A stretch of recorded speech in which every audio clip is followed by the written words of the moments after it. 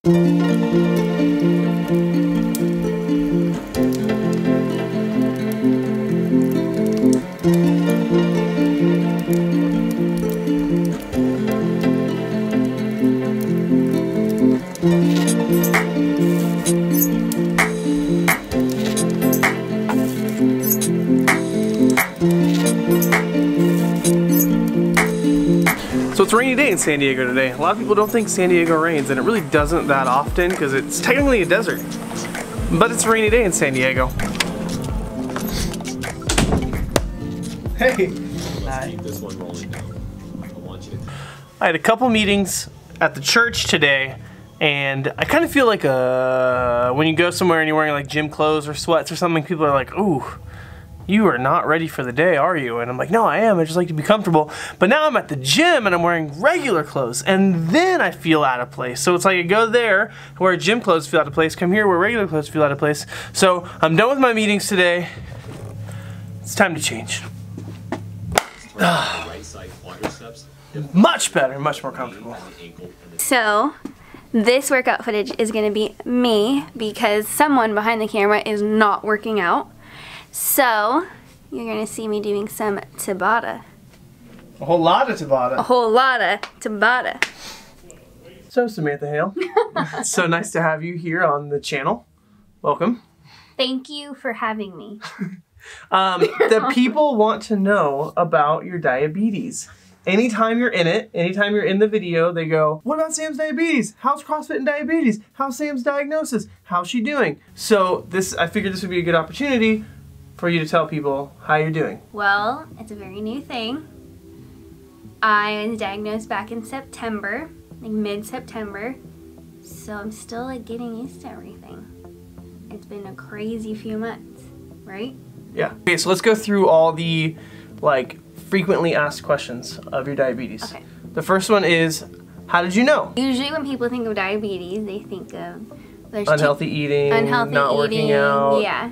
And so there's like there's two different types, type 1 and type 2. I have type 1. Type 2 is what the stereotype is. For the last couple months, I just wasn't feeling that good.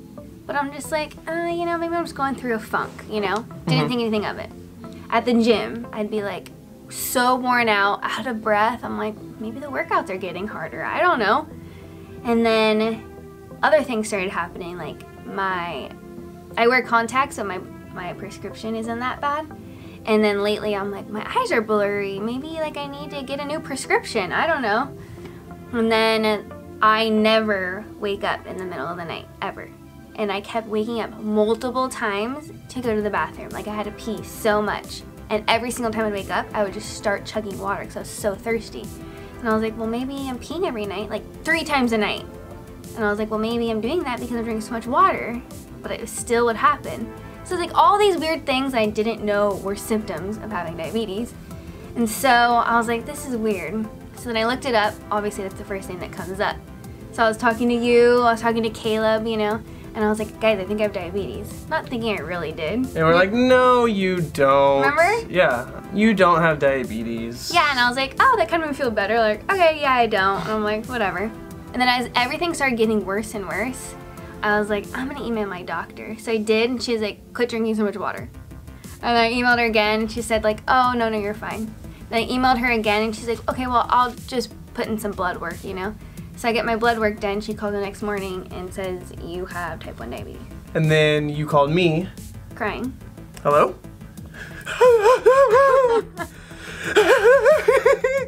That's how it was. yeah. Oh, crap. like, okay. Because it's like, Oh, I'm like, okay, I have this, but I don't know what it means, you know? Hmm. And then uh, I think that whole entire week was doctor visit, endocrinologist visit, specialist visit, all these things. They're like, okay, so literally I'm told I have diabetes. Okay, I don't know what that means.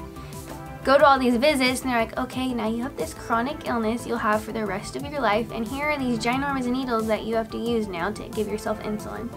And then I'm like, what? Like this, literally like that Sunday we were at Disneyland eating like ice cream, you know? That's probably making my blood sugar go up crazy. Yeah. And then Monday I'm have diabetes.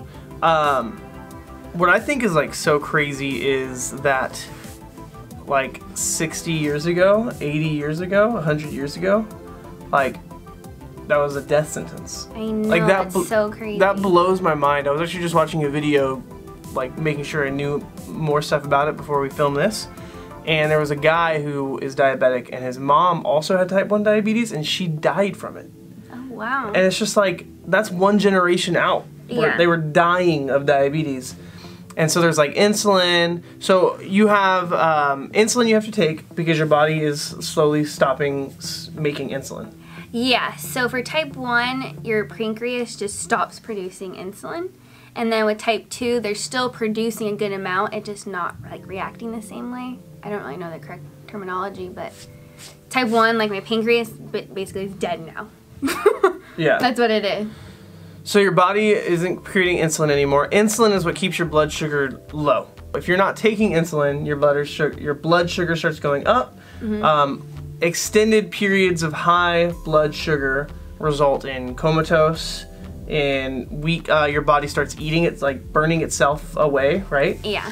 Um, and so like it's a real disease that really kills people. Because you have to manage it yourself. Like, it's totally fine if you're managing it, then it's like, fine, you can live a normal life. But then, like, people who just, I don't want to do it today. Like, if you don't want to diabetes today, then it's like, that long term is not good.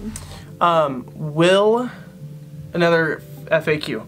Okay. Um, will going paleo or keto cure your diabetes? No. Type So one. quit asking. Type, type one diabetes. Yeah, type 1. Like, obviously, people have different ways they want to eat, and I think the way I have been eating works for me. Um, I know how to count macros and stuff. So, they, they teach you how to do carb counting because that's what you need to take insulin. How many carbs you're eating is how much insulin you need to take. Um, and I already, do that, you know? So, I take insulin at every meal that I'm eating carbs with, which carbs are in a lot of things, and then I take insulin at night. Does diabetes get in the way of working out? Um, I wouldn't say it gets in the way, but you have to be on your toes at all times. So a lot of cardio-based workouts can lower your blood sugar. Um, so you have to be careful. But because CrossFit's more intense, it usually doesn't lower it, and it keep. It, sometimes it spikes it. So I'm still trying to learn on how to. For everything I've read about it is steady state cardios, AMRAPs, stuff like that, it's gonna lower it. Yeah, But when you're doing like weightlifting and it's like hot, like like it's like stressful to your body. yeah, stress is what's gonna cause it to raise. Yeah. And so so it doesn't raise. T- sorry, it hasn't raised too much. It just go up high, a little bit higher, and then as soon as I'm like cooled down a bit, it's like a perfect. Yeah. And it's just like a stress induced kind of Yeah. reaction. So you can't, what you're saying is you can't work out your diabetes away. You can't eat your diabetes away.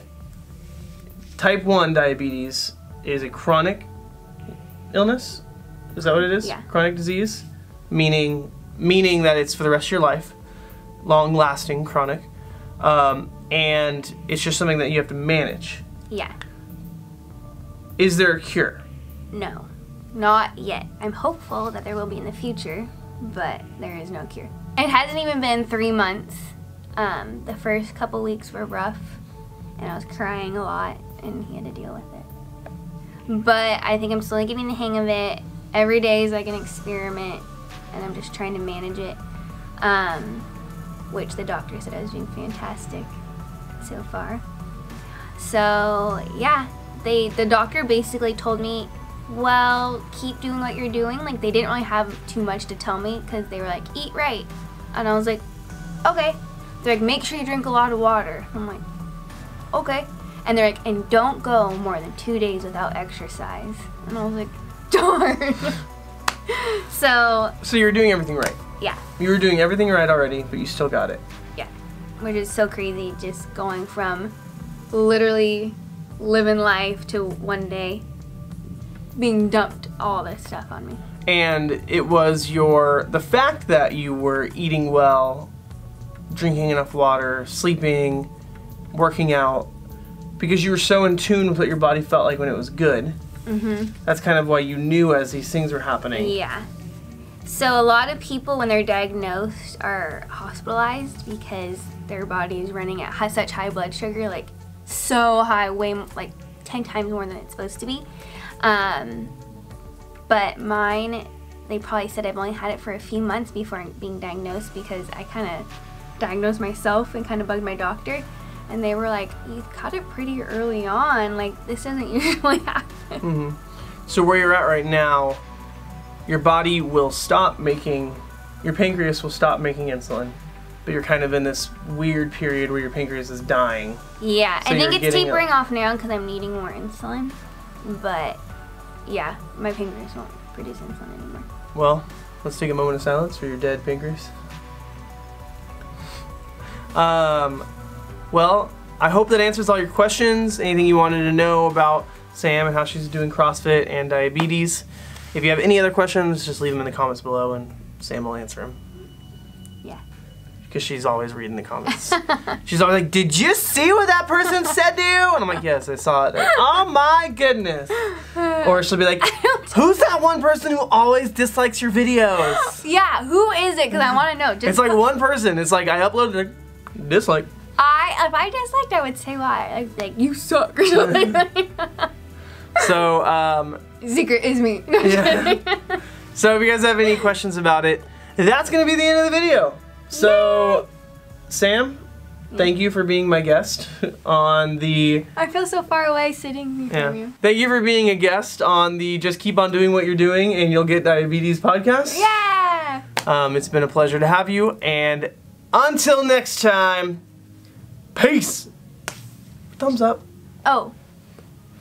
Should we see what my blood sugar is right now? Sure. And it's a hundred. Oh, that's that's not even planned That is what us diabetic people call unicorns. because it's such a perfect number. This is right so in the perfect. Yeah, you're managing this well.